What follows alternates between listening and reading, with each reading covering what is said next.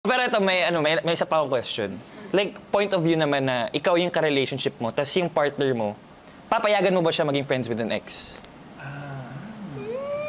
Kasi pi- sinasabi natin, okay eh. Oh, okay, okay, okay. Pero paano yung nararamdaman ng partner mo if you were in his or her shoes? Depende kung naging friends na sila bago pa maging kayo. Guess mo?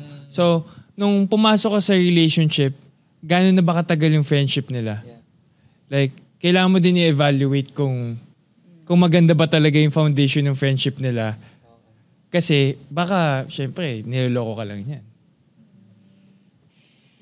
For, for me, okay lang. Like, swear it's okay. Kasi parang I lay all my trust in you. If you break it, Wow.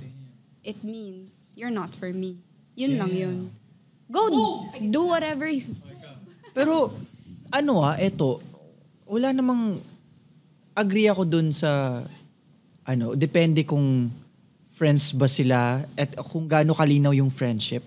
Kasi, tipong na-meet niya, oh, syempre ex niya yan, na-meet niya naman yan before and then, baka naman na, ano na nila, parang napagdaanan na nila and then okay na sila, ganyan, friends lang talaga, yung intentions, ganun. Yun nga, ika nga, depende sa intentions. But, para sa akin, sa una siguro medyo mahirap tanggapin na parang, mapapa-over, honest lang, papa-overthink ka talaga, tol. Yung tipong, "Hala, nagkikita pa ba itong mga to? Huwag lang everyday. Kung nagdi-date kami, minsan nagdi-date din ba sila? Gan, di- yung mga ganong bagay. Yung, di ba? Oo, mapapa-overthink ka talaga kasi syempre, may past sila eh. Eh, Lalo na't matagal sila, ganun, di ba? Lalo na't matagal na yung Ako relationship magagalit nila. ako pag mas binibigyan niya yun ng time. Like, I'm out. Talaga. Talaga. Oh, wait. I feel like... Okay, I feel, I feel like the devil's advocate. Kasi ako, right now, parang hindi ko talaga kaya. Kahit gano'n pa sila. Namin. Alam namin. hindi kasi, okay, ito may experience. Ito personal ko na to, hindi to si parang Jack at si Emma. So, ano nangyari? May experience ako na itong si Guy, may he, may girlfriend siya of seven years. Bago ako. Ah, ito yung ex niya before me. Okay. Seven years. And then, syempre expected ko na na malalim talaga yung pinagsamahan nila and and friends pa sila and they they are in the same group of friends, they're in the same basta they're in the same circle in every aspect. Work, life, basta lagi sila nagkikita.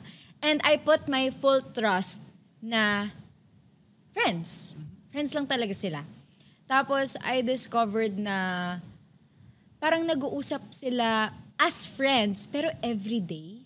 That's Pero where it pero draws friends ha? Pero friends. Pero everyday nag-uusap. Like as in they really open up to each other about their life. Kamusta ka, friend? Pauwi ka na, friend? Kumain ka na, friend? Kumain ka na, friend? Literally, literally. So, mag-hangout tayo dalawa, friends. At may ganun. Para klaro, di ba? Kalokohan yun. Hindi, pero pero friends daw talaga. Parang hindi nila, ewan ko, parang they're really in a part of each other's lives. Tapos, I tried to be okay with it. Pero hindi talaga. Well, Hindi talaga kaya. Trust your insect. Na, na, Just your na, insect. nabasa mo ba yung parang conversation nila? Oh, And naniniwala ka na friends lang sila? Kasi may feel mo naman yun eh. Hmm, si mga chat, sarap mo, friend. Ganun, may no? Sarap mo, friend. hindi Sexy naman mo, friend. ganon. Pero may, may mo, pero may good morning, may good night.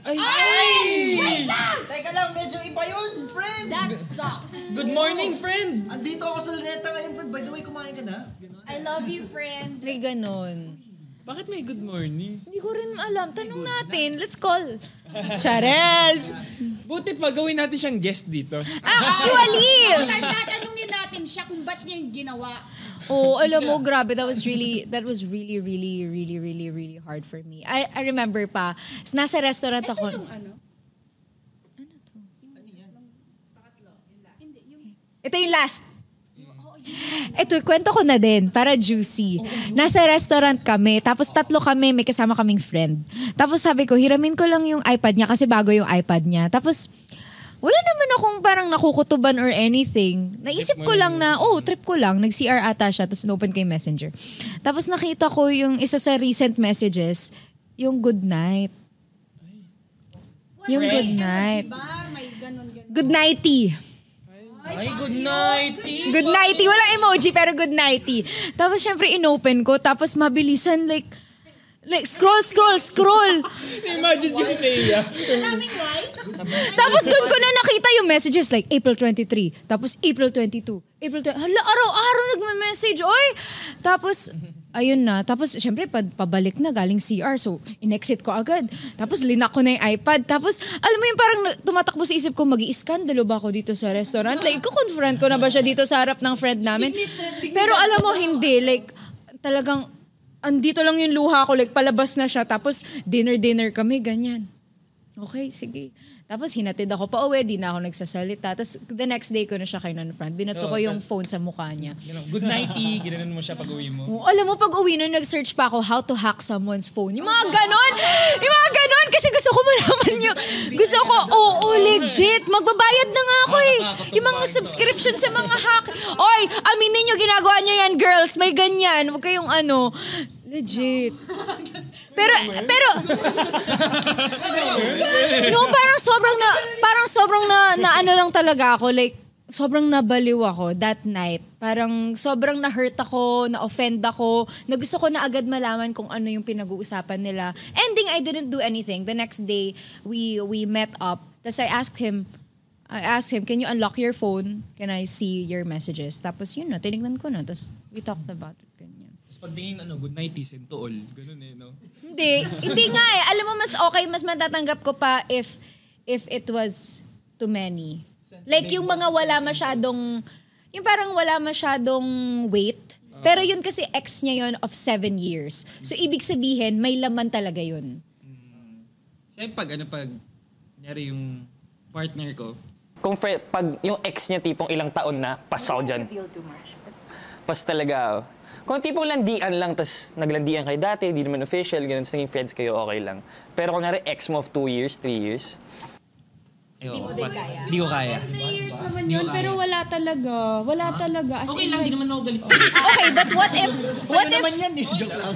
what if your partner, what if your current partner isn't comfortable with that? Like, how would you handle that? Siyempre, ex, eh, ano, hindi, well, hindi naman, pag may partner na ako, hindi talaga ako nag, ano, nag-reach. Hindi, wala kaming usapan. No contact. No contact. No contact comprehension. Yes.